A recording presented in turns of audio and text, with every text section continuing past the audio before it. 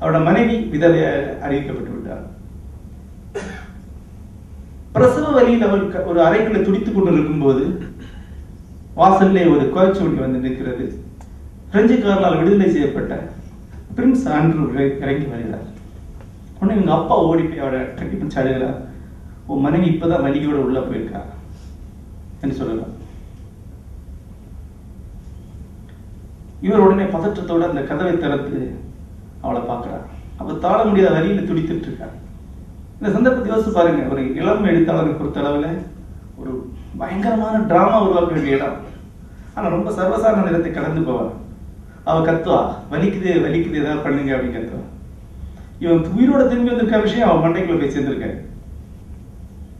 தான் விதவை இல்லைங்கிற விஷயம் அவளுக்கு தெரியாது. இப்போ பிரசவ வலியோட உக்கிரம் மட்டும்தான் அவளுக்கு இருக்கு. இதுக்கு யாராவது ஏதாவது பண்ண மாட்டாங்களாங்கிற தவிர எந்தவுமே அவளுக்கு தெரியாது.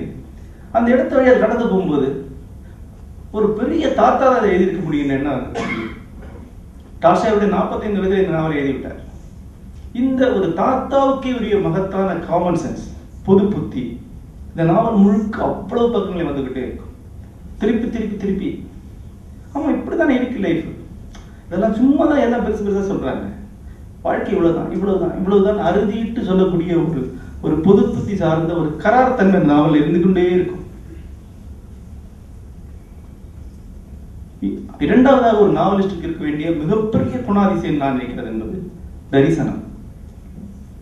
விஷன். ஒட்டுமொத்த வாழ்க்கையை பற்றி வரலாற்றை பற்றி காலத்தை பற்றி தத்துவத்தை பற்றி இருக்கக்கூடிய ஒரு அபாரமான தரிசனம். திருப்பி அதுவும் டால்ஸ்டாயுடைய நாவலில் சர்வசாதாரணமாக உண்மைக்கு வைக்கும் டால்ஸ்டாயுடைய கலையை சாதாரணத்துவத்தின் கலை என்று சொல்லலாம். சாதாரணமாக இருக்கிறது ஒரு கலை இருக்கு. ஒரு அதனுடைய உச்சம் ஒன்று இருக்கு. போர்க்கள காட்சி. அதுல பிரின்ஸ் ஆண்ட்ரூ குண்டடிப்பட்டு விழுந்து கிடக்கான். அவன் செத்துட்டான் எல்லாரும் நினைக்கிறாங்க அவன் சாகல. ஒரு அரை மயக்க நிலையில் இருக்கான். அந்த இடத்தை டார்சாய் சொல்லக்கூடிய பக்கங்கள் இன்றைக்கும் உலக இலக்கியத்திலே சிகரங்களாக கருதப்படக்கூடிய இடங்கள். மல்லாந்து படுத்திருக்கிறான். மத்தியான நேரம். வானத்துல மிக மெதுவாக மேகங்கள் பிரிந்து பிரிந்து சென்று கொண்டே இருக்கின்றன. அவன் நினைக்கிறான் அங்கே எவ்வளவு அமைதி?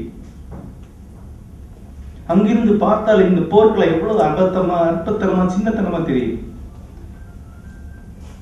எளிய மனிதர்கள் ஏதோ செய்யக்கூடிய ஒரு சின்ன உலகம் எங்க எவ்வளவு புகை எவ்வளவு அழுக்கு எவ்வளவு துக்கம் எவ்வளவு வெற்றி எவ்வளவு தோல்வி?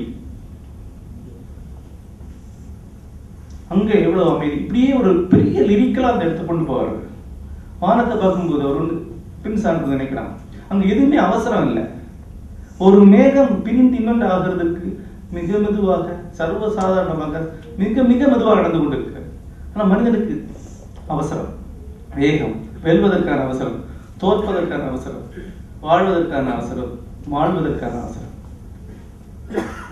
எதுக்காக எதுக்காக இந்த அவசரம்? எதுக்காக இந்த தோல்வி?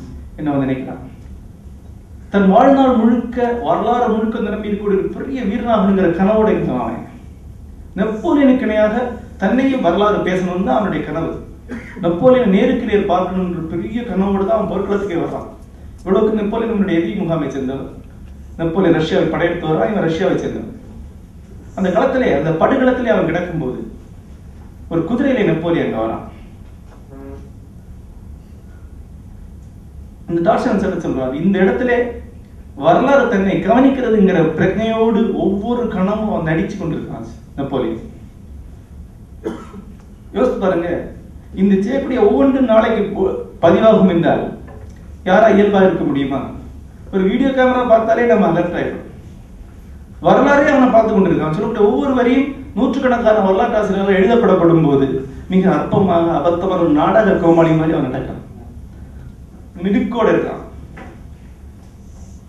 அவன் வந்து போர்க்களத்துல ஒரு கொடியோட விழுந்து கிடக்கக்கூடிய பெண் சான்றவை பார்க்கறான் ஆஹா அற்புதமான மரணம்.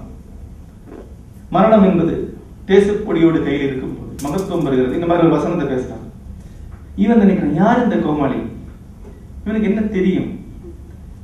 வரலாறுங்கிற ஒரு புயல் அடிச்சு வரக்கூடிய இலை. இவ்வளவு சின்ன மனிதனா வரலாறு நியமனம் இவ்வளவு சின்ன மனிதனா லட்சக்கணக்கான மனிதர்களுடைய வாழ்க்கையை போட்டு விளையாடக்கூடியவன். இவ்வளவு அர்த்தமா இவ்வளவு சர்வசாதாரணமா நினைக்கிறான். அந்த துணுக்குறல் அவனுக்கு வாழ்நாள் முழுக்க இருக்கு. இதெல்லாம் இன்றைக்கு சர்வசாதாரணம். இன்னைக்கு நீங்க ஒரு அரசியல் தலைவர்களை நெருங்கி பார்க்கும்போது தெரியும். ஒரு தேசத்துடைய முப்பது வருட தலைவரியை தீர்மானிக்கக்கூடிய ஒண்ணுமே தெரிஞ்சிருக்காரு சர்வசாதாரணம் அந்த சே- நாற்காலியில் அடுத்த வேலை வரக்கூடிய இதை பத்தி எதை பத்தியும் கவலைப்படாம இருப்பார். ஆனா அன்றைக்கு வந்து மாவீரருடைய கதைகள் சொல்லப்பட்ட காலம். வரலாறு என்பது வா- மாவீரர்களால் ஆனது என்று பாடங்கள் படிக்கப்பட்ட காலம். சர்வசா இவ்வளவு அற்பமான மனிதர்களால் அற்பத்தனமாக சர்வசாதாரணமாக முழுக்க முழுக்க தற்செயல்களால் ஏதோ ஒன்று எப்படி ஆகிக்கொண்டு கொண்டுதான் வரலாறு என்கிற பிரச்சனை அவனுக்கு வருது. அது ஹிஸ்டாரிக்கல் சென்ஸ் அந்த இடத்துல வருது அதுதான் டால்ஸ்டாயுடைய முக்கியமான தரிசனம். இது திருப்பி திருப்பி நாவல்ல வரும். பாக்ரேஷியன் என்ற மாபெரும் ஆஸ்திரேலிய ஆஸ்திரிய ஜெனரலுக்கும் நெப்போலியன் ஒரு போர் நடக்குது வரலாற்று மகத்தான போர் அது. மூன்று படைகளை திரண்டி நின்ற பாக்ரேஷியனை ஆஸ்திரிய போர் முனையில நெப்போலியன் தோற்கடிக்கிறான் சின்ன படையோட. வேற ஒண்ணுமே காரணம் கிடையாது. பாக்ரேஷனுடைய படை வெட்ட வெளியிலே தெளிவா இருந்தது. நெப்போலியனுடைய படை மூடுவனிக்குள் இருந்தது. இது ஒரு தற்செயல். அந்த தற்செயல் வந்து உலக வரலாற்றை மாற்றியாச்சு. இப்படிதான் வரலாறு போயிட்டு இருக்க அப்படிங்கிறார் தாத்தா. இது வந்து அந்த சின்ன வயசுல நானும் ஒரு குட்டி வரலாற்று ஆசிரியர் ஆகணும். ஒரு வரலாற்று நாயகனா மாறணுங்கிற கனவோடு இருந்த எனக்கு பிறந்த இடத்துல அடிச்ச மாதிரி இருந்தது. இதுல ஒரு இந்த வரலாறு முழுக்க ஒரு அபத்தம் ஓடிட்டே இருக்கு. ஒரு ஒரு விதவிதமான ஒரு ஒரு அர்த்தமின்மை ஓடிக்கொண்டிருக்கிற எண்ணத்தை எனக்கு உருவாக்கிச்சு.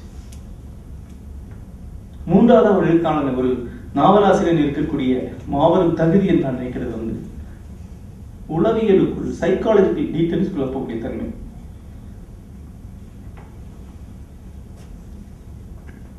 ஏற்கனவே சொல்ல போத ஒன்று காமன் சென்ஸ் இன்னொன்று வரலாற்று உணர்வு மூன்றாவது உளவியல் தன்மை. ஒரு தனி மனிதனுடைய உளத்தன்மைக்குள்ள போகக்கூடிய இயல்புங்கிறது வந்து நியூக்ளியர் யூனிட்டுக்குள்ள மைனர் யூனிட்டுக்குள்ள போகக்கூடிய தன்மை. வரலாற்று பிரச்சனை என்பது மேக்ரோ யூனிட்டுக்குள்ள ஒட்டுமொத்தத்துக்குள்ள போகக்கூடிய தன்மை. வானமும் மண்ணை அளக்குற மாதிரி அங்கிருந்து இங்க வர்ற மாதிரி. எழுத்தாளர்களை பொதுவாக யாருக்கு மென்மையான உணர்வுகளை எடுக்கக்கூடிய திறன் இருக்கோ அவங்களுக்கு வரலாற்றை பார்க்கக்கூடிய கண் இருக்கு. யார் வரலாற்றை பார்க்குறாங்களோ அவங்க இதோட சின்ன சின்ன அம்சங்களை பார்க்க முடியும். ஆனா தாத்தாவால முடியும். அவர் உலக வரலாறு எப்படி ஓடுகின்றது நாவல சொல்றாரு. ஆனா அந்த நாவலில் வரக்கூடிய ஒவ்வொரு கேரக்டருக்கும் ஒவ்வொரு பணிப்பெண்ணுக்கும் அந்தரங்க மனம் ஒன்று இருக்குல்ல அதை சொல்லுவார் இவன் என்ன நினைச்சதுன்னு சொல்லுவான். ஒரு கேரக்டர் இன்னொரு கேரக்டர் பார்க்கும் என்ன நினைச்சுன்னு சொல்லுவார் திருப்பி திருப்பி இந்த உலக நுட்பங்கள் வந்து கொண்டே இருக்கும். நிறைய இடங்கள் நினைவிட அலை அலையா வந்து கொண்டே இருக்கு. பால்கோன் சிங்கிற ஒரு பெரியவர் இருக்கார். ரொம்ப டஃப்பான பெரியவர். அவர் செத்து போயிட்டார். அவருடைய மகன் தான் பிரின்ஸ் ஆண்ட்ரூ. ஒரு பத்து வருஷம் கழிஞ்சு அவருடைய விசுவாசமான வேலைக்காரனை இவர் பார்க்கிறார். திடீர்னு ஒரு ஜெர்க்கு வருது. ஏன்னா அந்த செத்து போன கிழவருடைய விசுவாசன வேலைக்காரன் நெடுங்காலம் அவர் கூட இருந்து அவருடைய பாடி லாங்குவேஜை இமிட்டேட் பண்ண கத்துட்டு இருக்கான். இவன் அதே மாதிரி இருக்கான். அதே மாதிரி வர்றாங்க அதே மாதிரி தலையாட்டுறான். அதே மாதிரி இப்படி பண்றான். இவருக்கு அவனை அவனை எதிர்கொள்ள முடியல. இது எனக்கு பெரிய அதிர்ச்சி கொடுத்த ஒரு நிகழ்ச்சி. ஏன்னா என்னுடைய அம்மா இறந்து போயிட்டாரு. ஒரு நான்கு வருடம் கழிந்து நான் கிராமத்துக்கு வேறொரு இடத்துக்கு போகும்போது என்னுடைய அம்மாவுடைய தோழியாக இருந்த எங்களுடைய வேலைக்காரியாக இருந்த ஒரு அம்மா என்னோட இருவரும் ஒரே வயது. ஒரு வீட்டு திண்ணையிலிருந்து என்னை நோக்கி மக்களை கூப்பிட்டு ஓடி வந்தாங்க.